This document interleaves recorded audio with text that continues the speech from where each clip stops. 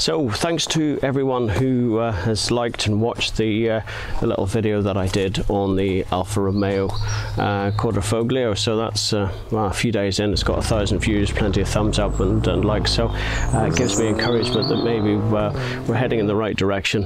people like the sort of content, so it gives me encouragement to continue on, do something, do something else. Um, a chance to come clean really now. Um, besides being into cars, uh, classic cars and bikes and boats and all sorts of things, I've been a commercial airline pilot, um, a captain, while flying for the last sort of 30 years um, flying um, turboprops um, jets, currently flying the 320, the Airbus 320 all around Europe and Africa and the, uh, the Middle East. So um, that kind of puts my interest into everything aviation as well. might include some of that, but particularly uh, this particular video. a friend of mine, Simon Patel, is coming up to uh, Bicester, where I'm not far from and uh, he's going to fly in in his de Havilland uh, Chipmunk.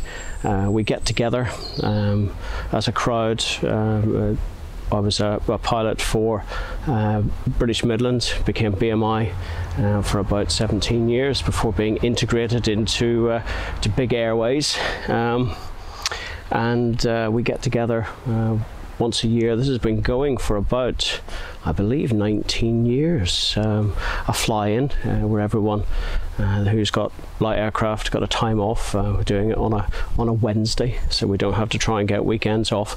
Uh, we all fly up to uh, various airfields. It's been at uh, Bidford mostly, um, and we get together and catch up with old friends, see people we haven't seen for for many years maybe, and just have a bit of a laugh. they have some games with flower bombing, trying to hit a target from from an aircraft with a little half kilo of flour. they do spot landing competitions where you've got to touch your main gear down on a line on the airfield, little grass strip, um, and generally then we park up the airplanes and uh, we go and get uh, thoroughly drunk. So, so that's the uh, that's the plan for today. Simon's flying up um, a little bit uh, later on. Uh, we're going to then uh, head off to Bidford. It, it, should only be something like a, a 20 minute flight up the road. Um, my wife very kindly then is driving the car up probably um, just over an hour's drive, maybe even longer, uh, to meet us later on with the uh, with the dogs, etc. So I just thought I'd uh, give you a little bit about a, background about uh, about me. You know, I've got my car license, I've got my bike license, I've got my race license, um, I've got my flying license. Um, I've got all sorts, so it, it, kind of widens the scope that perhaps the direction we might take the uh, the channel. Uh, a few of the pieces, um, well, it could it could go anywhere. Let's face it.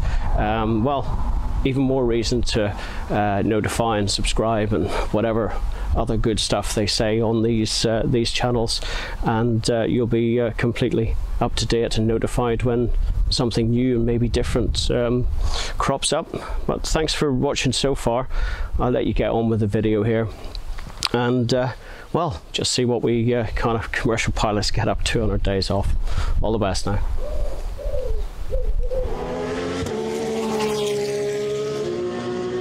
Hi guys, um, I'm Ed, welcome back to the channel. Uh, not a car today, but uh, something a little bit special. I, I know it's a chipmunk, but um, tell us a little bit more about it.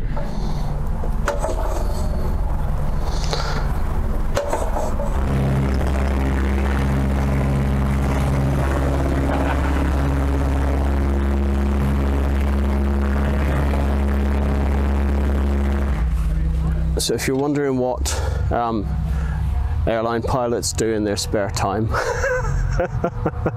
what we do to have fun, um, then this is kind of it. Once a year we meet up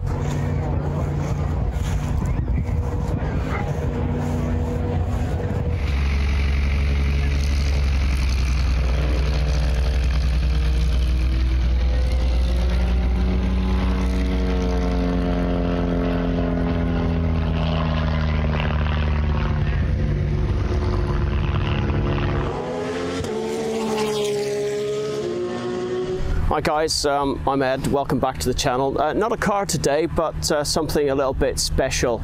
Uh, we've got a de Havilland Chipmunk. Uh, a friend of mine, uh, Simon, uh, is in a syndicate. Um, a few people own this aircraft and he's just been lucky enough to land up today. We're off on a, a, bit of a trip to see a few friends with like-minded ideas. Um, it's a fly-in uh, today, which essentially means that everyone gets their toys out and they, they meet up, do a bit of flying, and then go and uh, go and get drunk. So, uh, so, so that's the that's the plan for today. But he's kindly invited me along uh, to go in the back seat um, and uh, go up to Bidford, where we're all uh, meeting. So we're in uh, Bicester Heritage here at the moment. Apologies, there's another aircraft up behind us here. A motor glider started up, so uh, forgive me if it's it's a little bit noisy. So, going to have a chat with Simon. He'll tell us a little bit about the aircraft, and well, we'll go from there. Well, Simon, just um, assume I know nothing, which is probably fairly close to the truth. so, so tell me, tell me about. Uh, I, I, know it's a chipmunk, but um, tell us a little bit more about it. De Havilland Chipmunk, designed by De Havilland Canada immediately post-war. During the war, they'd been building uh, mosquitoes and tiger moths for the war effort. Right. Uh, and suddenly, middle of August 1945 uh, all of their work dried up, uh, they'd got nothing to do. And they realised that to survive, they needed an airplane to produce. And the, the Tiger Moth, the ubiquitous trainer of the uh, Commonwealth forces during the war, uh, was now an old airplane. You've got fast jets coming in. The, the Gladiator and the, not Gladiators, I want to talk about, the Meteor and the, the Vampire were, right. were suddenly appearing. Um, and the old biplane Tiger Moth, you know, designed, well, basically based on almost World War One designs, yeah. uh, weren't going to cut it anymore. And so de Havilland Canada decided to take it on themselves to produce a, a new, nearly all metal uh, trainer. Uh, to replace the aging Tiger Moth, and came up with this, the Chipmunk. Um, the idea was they hoped that the Commonwealth would take it on, and indeed they did. The Air Force got involved very early on. Uh, a couple of early Canadian uh, prototypes were shipped over and evaluated, and the uh, the Air Force decided to adopt it as their basic trainer as well. Uh, and so a lot were built in Canada, uh, but a lot more were built here in the UK. Although they weren't actually built by um, de Havilland, who didn't have the capacity. They were busy churning out Vampire fighters and designing designing the new Comet jet airliner. Right. Uh, and so production was actually farmed out to Avro up at uh, Chester who built um, this particular one was built in April 1952 uh, built for the Air Force and uh, it flew with a couple of Air Force units in the early 50s uh, but was actually retired very early on it only spent four years in Air Force service uh, before it was sold off at auction and it was bought by an outfit called Derby Aviation. Uh, and it sat in storage for another few years before it spent most of the 60s uh, flying for flying clubs around the East Midlands area. It was then bought in the early 70s by a chap called Bill Bonner. Uh, he was, uh, or still is, I think he's still around, and certainly his company is. Uh, it's a company called Bonner Engineering down in Shoreham. And they do engines. They build boat engines, race car engines, uh, all sorts. Um, and the first thing he did with this actually was take it racing. Um, in its normal configuration, he took it off to the King's Cup, which was a uh, very famous air race that ran for many, many years. Um, I don't think it's been contested for the last few years, but certainly from the, the 20s through till about four or five years ago, it was contested annually. Uh, and he actually won the King's Cup with this one back in 1973, so uh, that's right. a reasonable achievement. Yes. He then re-engined, re-engined it with a uh, a 3 litre Ford aluminium V6 automotive engine.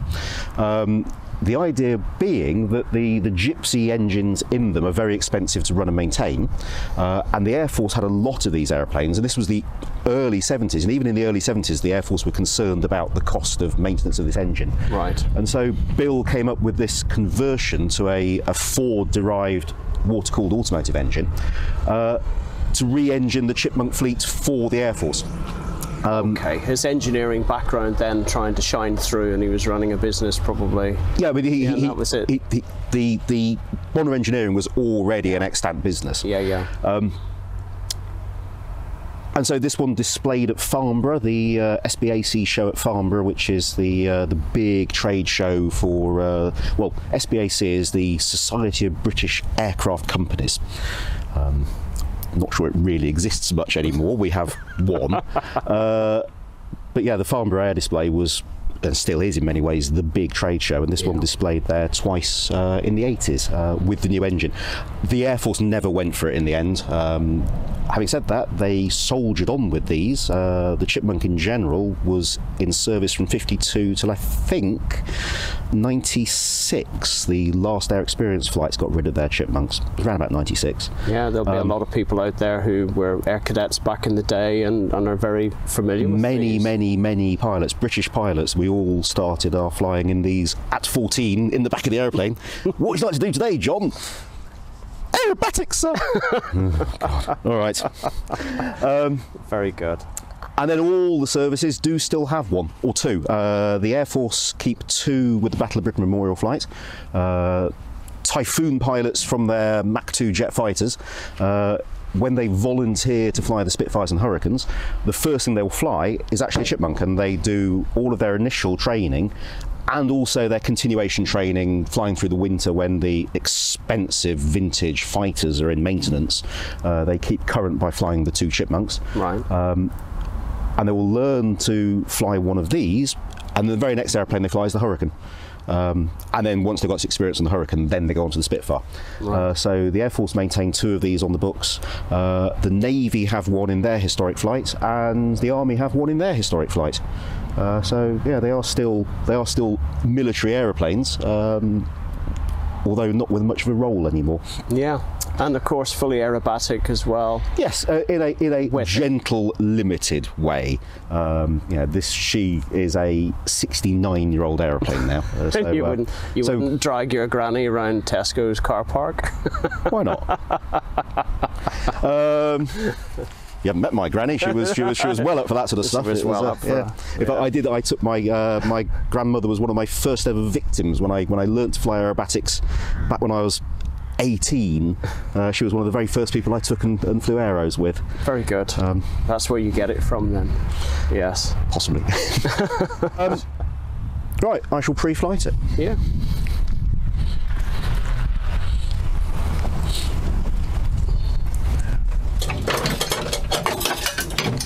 There you go. Great shot of your arse. You do wide angle.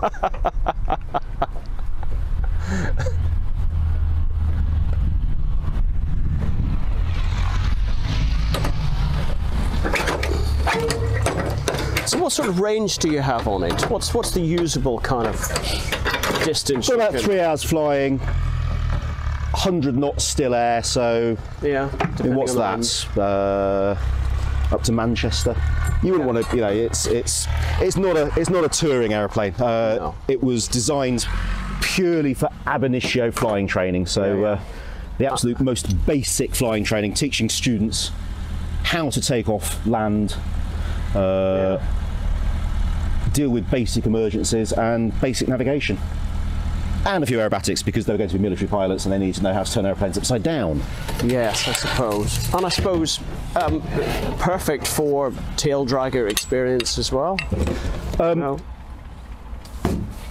So, of course, it comes from an age where tricycle undercarriage, which is the absolute norm now, was still a a, uh, a novelty. Um, it's all to do with propellers. So, early airplanes had fixed propellers, um, which meant they had to be quite large to cope with all sorts of speed regimes, from low speed takeoff uh, through to high speed flight. And just before the war, people started developing variable pitch propellers. Uh, so the propeller can actually be twisted on demand by the pilot uh, to cope with a wider range of speeds. And that meant you could have a smaller propeller, so you didn't have to have it sitting quite so high up in the air Yes, the ground, Uh, the clearance. which then meant that you could put it onto tricycle undercarriage with a nose wheel and two main wheels and actually see much better where you were going when you're on the ground. Uh, but this still goes back to the 1940s when that was still quite new and very expensive, and it still is expensive. Um, and so tail dragger aeroplanes with a little wheel at the front, it's simply like that to keep the propeller from digging into the dirt. yeah. So there's always there's pros and cons for everything really. It's a it's a balance. It's a trade-off. as you were saying, you know, good for good for uh, tail wheel training. Yes, it is because actually it's a very benign aeroplane. Uh, Yeah. tail wheel flight. Um, the tiger moth that it replaced is much much harder on the ground, uh, much harder to steer to see out of. Um, they don't have brakes. Uh, you know, the tiger, the tiger moths, you you are purely reliant on being on grass and the friction of the grass uh, to slow not only to slow the airplane but also to turn it. You know, you need you need the friction of the grass. Oh yes, because you can't lock an inside wheel and swing it around. Yes, No, yeah. No, no. Yeah, you've got to. You, you have to plan so much more carefully. Um, So you- uh, switch it off because I'm going to swear. this does fit in. But only in a, a specific jigsaw kind of way. Yeah, it is. It's one of those jobs. Very good. And that just gives so each each- of the four cylinders Yeah, each, each is primed. charge in it. Yeah. So it should fire nicely when it-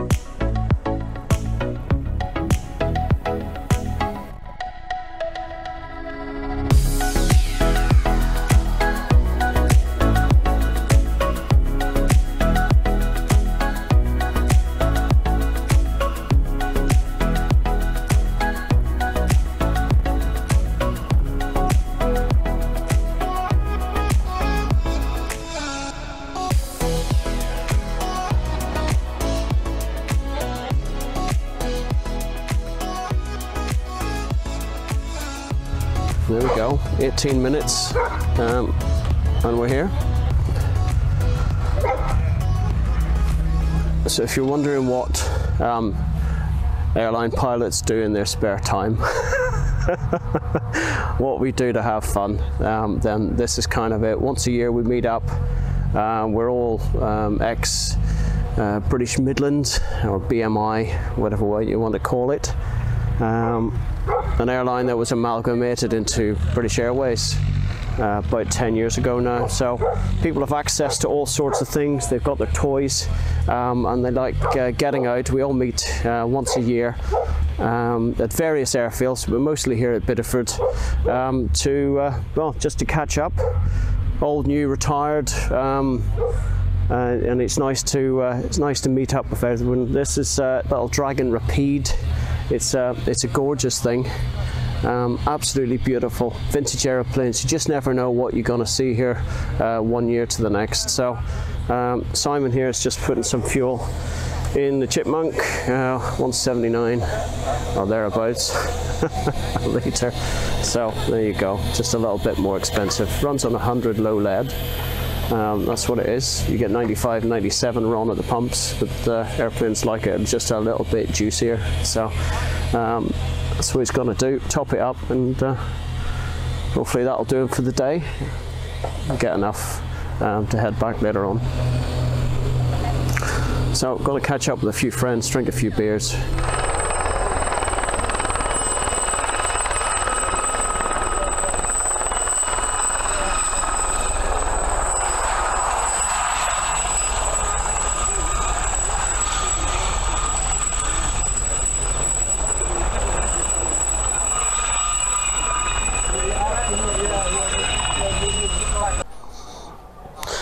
So here we go, just walking the flight line, little uh, Super Cub. Very nice, very stable airplane to fly. And then we're on to the, uh, the bigger stuff. Look at the height of this thing, Boeing Stearman. Massive big uh, rotary engine.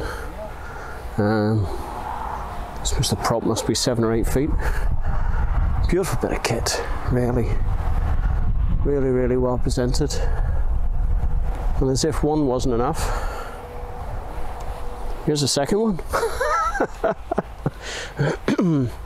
I don't know. You know what? It's really lovely for everyone to get together and uh, just meet up, all friends. And uh, they're going to start their flower bombing competition. Uh, they get three flower bombs. They're not allowed to go below um, 100 feet and uh, we got to drop them into uh, into the paddling pool which will be uh, I don't know if you can see it right in the distance there. It's got a little union flag on and uh, uh, and that's what we'll do. We'll try and attempt to get in there uh, try and keep it safe and all the rest of it you know what? Pilots like to be entertained. We get we get bored easily otherwise. So little yak 18 wow. Gorgeous thing gorgeous thing. Um, and then we come down, there's another uh, chippy in army colours. Lots of RVs, popular things, PA 28s, uh, Warriors. There's a little Jodel, I think. That's nice. Little Piper uh, Archer or It's a Cherokee, Cherokee 140. There we go, and there's the uh, there's the chipmunk that we flew down on um, earlier on. if you're really special, you get to come in a gazelle. so Andrew Andrew Foxley he's uh, he's brought the gazelle in to, uh, to, to show off. So they're going to go and do a little bit now. Uh, they, they, they send him off uh, to the far side of the airfield so he doesn't blow anything over when he comes into land. So another uh, little Cherokee 180 this time, uh, Cessna 172, and uh, something that I've uh, many hours in in the past. Uh, University Air Squadron in Belfast, QAS, Queen's University Air Squadron. There's the Bulldog T1, cracking little bit of kit, fully aerobatic, 200 horsepower, fuel injected engine. Um, it's, uh, it's side by side, a big dome canopy, so plenty to see, and uh, it just flies absolutely wonderfully. Um, yeah, loved it. Early days. Uh, takes me back, takes me back 30 years or uh, or thereabouts. Yeah. Um, another uh, another Stearman there. Uh, little Cessna and uh, another chippy there. So, but this is uh, this is just the machine for me. Um, Shona, who organises this, is lucky enough. She's another um, captain with us at uh, at BA, and uh, she gets to fly this beautiful Dragon Rapide. Uh, she doesn't own it, um, which is probably um, a good thing to maintain a twin, a classic twin, but it's just a thing of beauty. One of the early, early passenger aeroplanes. I wish I could tell you more about it, but it's uh, it's just an absolute thing of beauty. De Havilland Dragon Rapide. Let's have a little look. I'm sure she won't mind. We have a little look in there. There we go. Imagine going on your holidays on this. Hey, it just smells gorgeous, just like old aeroplanes do. Um, she's a very, very lucky lady to be able to fly this. Vintage cars, vintage aeroplanes. It's uh, it doesn't get much better than this. It really doesn't. So hopefully uh, we'll see Andrew trying his attempts at the uh, the flower bombing. Uh, some more aeroplanes here. Uh, some been wheeled out, some tucked away in the hangars. Um, there's little Pitts down there. I've flown those in the past. Um, cracking little aerobatic airplane. I think if I was going to have my own aircraft, it would be a Christen Eagle or a, a Pitts. Um, just for the sheer fun of it. So hopefully Andrew will get the Gazelle up in the air and uh, we'll see how he gets on.